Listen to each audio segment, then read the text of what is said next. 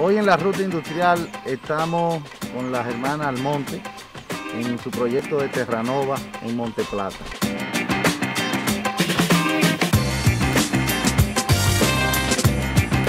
Un proyecto bellísimo porque hace un tiempo que ellas comenzaron a criar cerdos. Eh, esta es ya su segunda estancia, ¿verdad?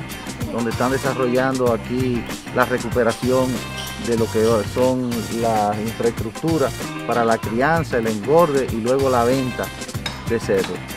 Para mí muy importante también que es una iniciativa familiar, es una iniciativa de jóvenes, es una iniciativa de pyme y es una iniciativa que le manda un mensaje bellísimo al resto de los jóvenes del país que se pueden hacer muchas cosas.